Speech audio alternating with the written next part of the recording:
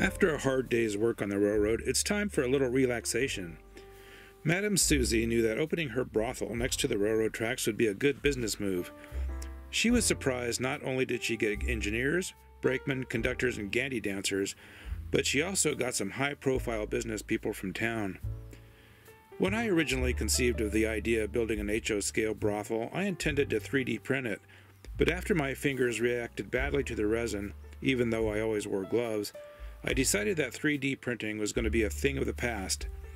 I managed to 3D print the basement turret and the front and back stairs before abandoning the Mono X. I designed the house in HO scale, and the original plans worked fairly well except for some small things that I had to tweak as I got further along. The plans shown here were used as patterns for the walls, and as a result they got pretty dirty as the build went on. Instead of a house built of brick, it would be a house built of scale lumber.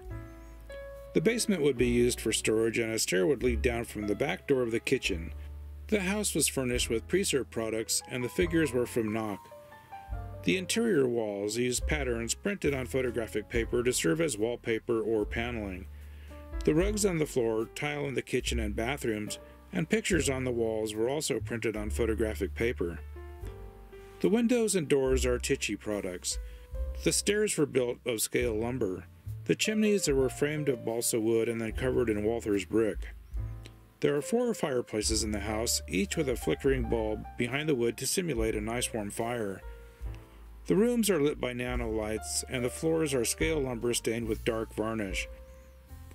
The turret would have been much better as a 3D object, but since that wasn't going to happen, the exterior walls had to be individual pieces of lumber, and the roof had to be framed, and then each roof panel had to be cut to individual size.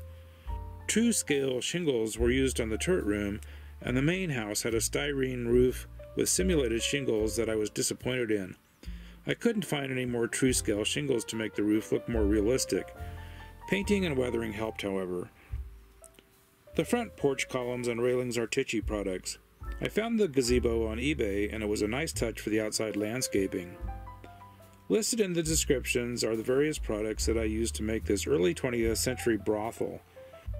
The three rooms upstairs are the primary places for business, and each room has a Noch sexy scenes figure in each one of them. Please like this video and subscribe to our channel.